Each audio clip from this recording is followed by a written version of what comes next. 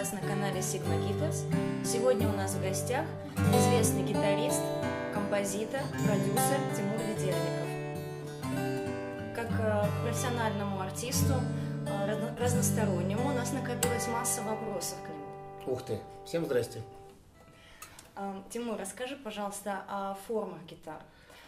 Какие у тебя предпочтения и на что стоит обратить внимание при выборе формы инструмента? Здесь у нас представлены вот дредноут. Да, есть разные формы. Ну, во-первых, конечно же, друзья мои, э, главное, чтобы вам гитара нравилась. Вот эти формы, они должны вас как-то вдохновлять. Вот. Но действительно, кому что нравится, кто-то кому-то нравятся более стройные э, модели гитар, а у нас они представлены. Это вот, например, э, фолк-гитара, кто-то любит более основательные, такие как дредноут. Вот.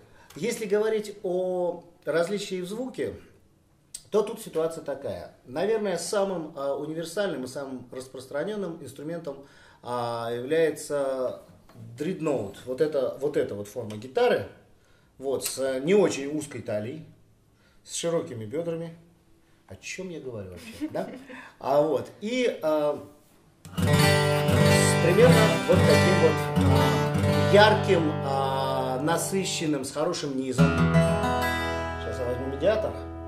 А вот, с хорошим низом, с, с прозрачным хорошим верхом, с, с ровной хорошей серединой. В общем, такой, а, я его называю даже, знаете, несколько таким рояльный звук, потому что у него еще и хороший сустейн.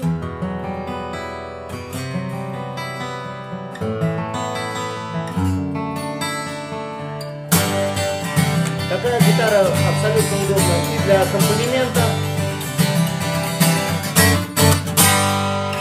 для сольных каких-то.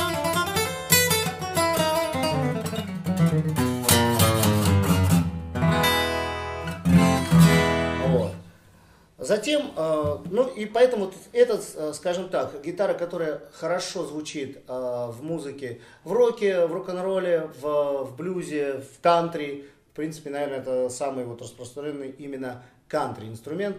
Кстати, эта модель от Sigma гитары. Это такой классический вариант Мартин Dreadnought D28 с известной вот, по всему миру вот этой окантовочкой, которая называется елочка.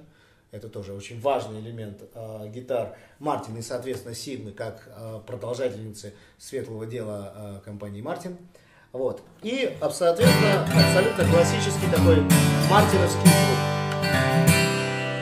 Корпус этой гитары из э, палисандра, верхняя дека елка. Ну, про материалы мы еще поговорим вот отдельно. как наверное, раз, да, да, я хотела задать вопрос про деки. Ну, вот. это... Смотри, деки. Материал дек бывает очень разный. Существуют гитары, а, значит, во-первых, еловые деки бывают. Э, это то, что вот у нас представлено здесь. А, кстати, это уникальный инструмент. Здесь дерево которое компания Мартин э, высуживала на протяжении там, 120 лет. Эти, э, это дерево было найдено на фабрике Сигма. Сейчас вот как раз из него пилят здесь гитары. Э, итак,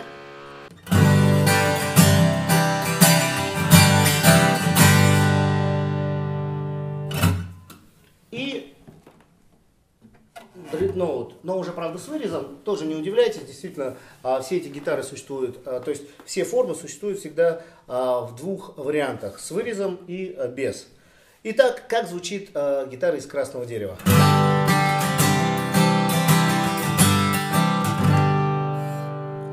может быть чуть тише, но при этом э, у нее не столько, не такое э, большое количество обертонов, а вот, а, видимо, потому что красное дерево, оно изначально тверже, чем а, ель, и поэтому оно как бы, ну, а, более фокусирует звук. Но при этом гитары из красного дерева обладают более ровной частотной характеристикой. Поэтому, если, например, дело касается какого-то там чеса,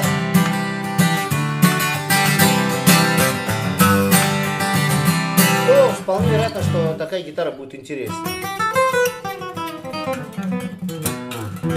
Чуть больше серединки, но опять же не столько больше серединки, сколько просто а, более ровная характеристика. А, а в еловой гитаре больше низа и больше верха. Вот. Вот. Итак, это гитара Dreadnought. Вот у нас мы посмотрели сейчас гитару с а, еловой декой и палисандровую, и гитару с, полностью сделанную из красного дерева. Тимур, расскажи, пожалуйста, вот э, различные формы, они относятся как-то к определенным музыкальным стилям. То есть, э, когда мы играем кантри, мы выбираем одну гитару, когда мы играем там э, блюз, мы выбираем другую гитару. Каким образом, по какому принципу это делается? Ну, в принципе, опять же, я прежде всего я считаю, что а, каждый музыкант все-таки исходит из своих каких-то внутренних симпатий, предпочтений. Да, нету правила, что кантри-музыку можно играть только на гитаре дредноут, хотя это, наверное, самый распространенный а, инструмент для этого стиля. Вот сейчас мы посмотрим, смотрите, у нас здесь представлены э, несколько форм. Вот мы смотрели дредноут. Скорее всего, на ней действительно можно играть кантри-музыку, там какой-нибудь блюграсс там. Сейчас попробуем. Сейчас каподастер возьмем, каподастер. И так вот как это. Томми Мария.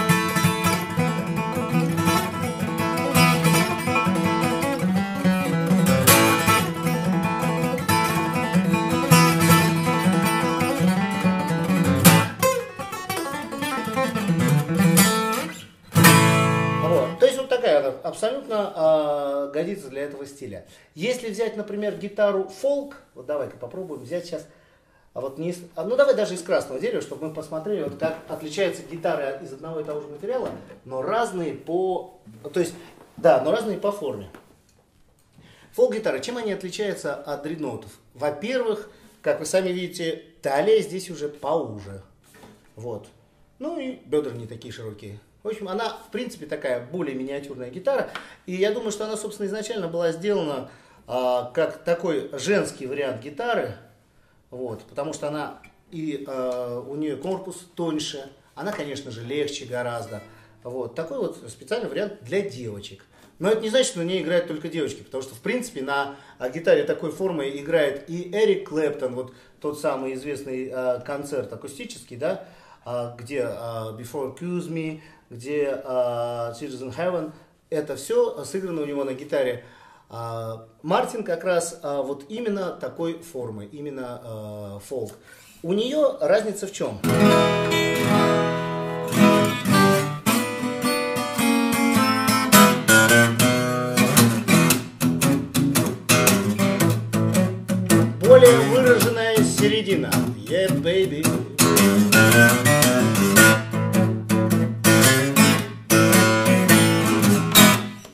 Гитара будет слышна в соло э, ярче, читаемее, чем нежели дредноут, например, да. А, кстати, такую же гитару очень часто использует Sting. Вот. Именно вот такого плана. На таких гитарах хорошо играть пальчиками.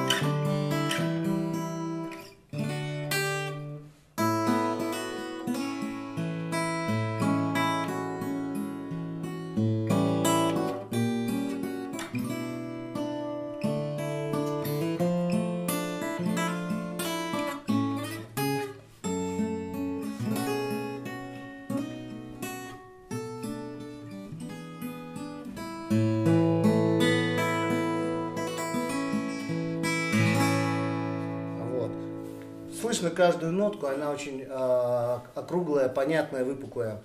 Э, кстати, на такой гитаре э, очень хорошо играть слайдом. Из-за того, что здесь больше серединки, получается такой прям настоящий блюзовый звук.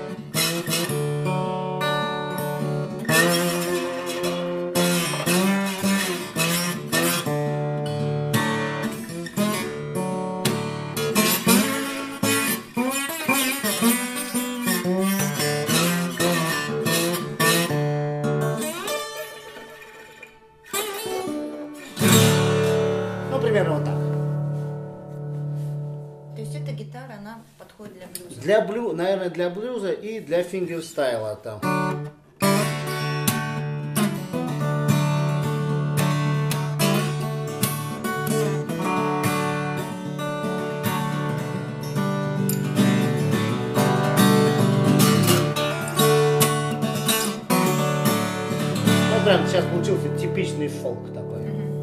Вот.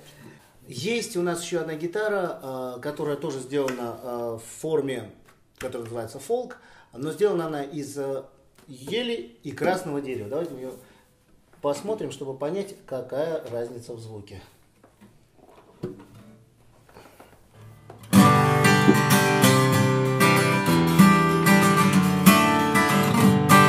Сразу слышно, что здесь больше низа. Вот. При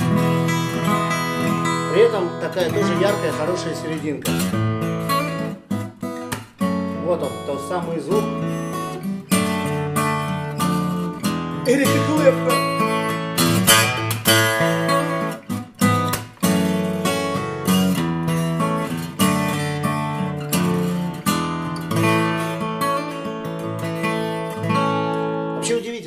При достаточно маленьком корпусе эта гитара обладает очень хорошим низом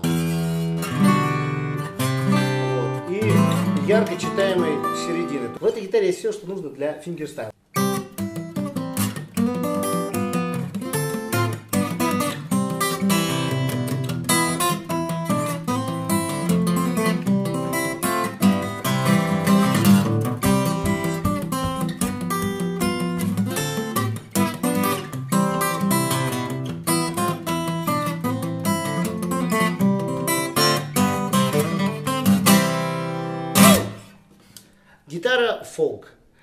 У нас еще одна э, гитара с формой, которая называется, держи-ка, называется это форма модерн. Это нечто среднее между э, гитарой э, Dreadnought и гитарой фолк. И может быть немного даже что-то от джамбо есть. У нее достаточно большой корпус, но при этом э, более узкая талия. И э, корпус очень широкий. Я думаю, что это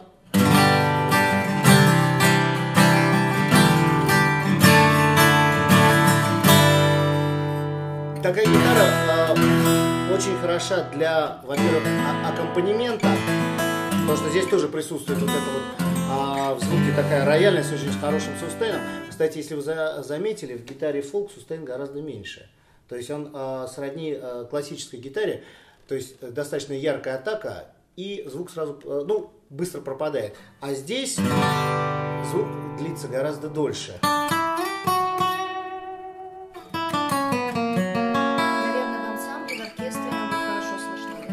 Вот она будет хорошо слышна и, э, именно в, в режиме хорошего аккомпанемента. Вот такого э, яркого, сочного.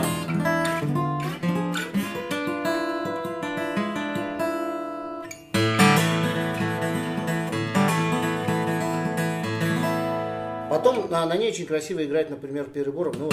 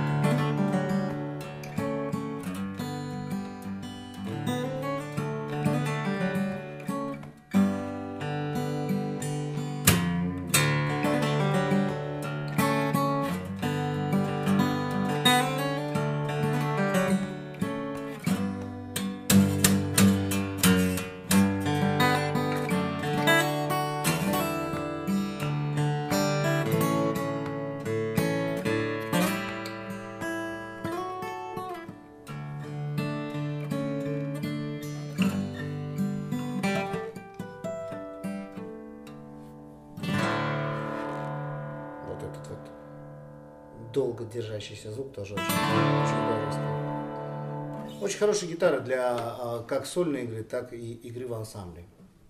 Вот. Поэтому я думаю, что общий вывод, наверное, можно сделать такой, друзья.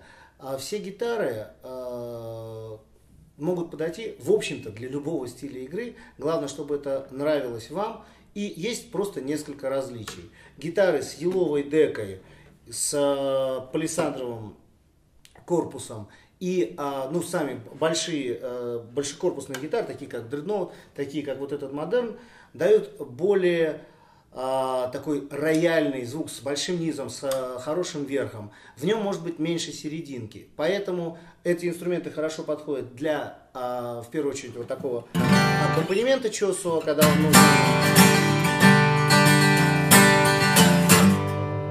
Вот. А, ну и, в общем-то, для сольной игры. А гитары фолк а, тонкие, с а, а, с более а, маленьким корпусом, в них больше середины, меньше низа, и они подходят а, больше для такой игры а, пальцами и игры медиатом а, в таком в хорошем в сольном режиме. Как аккомпанемент мне они нравятся меньше, честно говоря.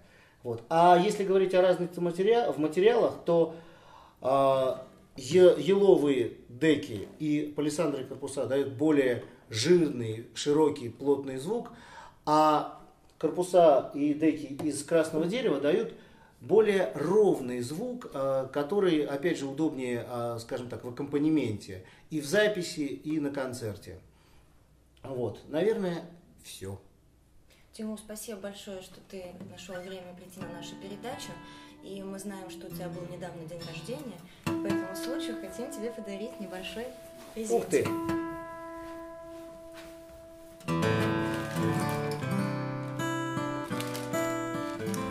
Вот здесь, значит, вот такая вот кружечка, кружечка сувенирная и маечка Sigma Guitars.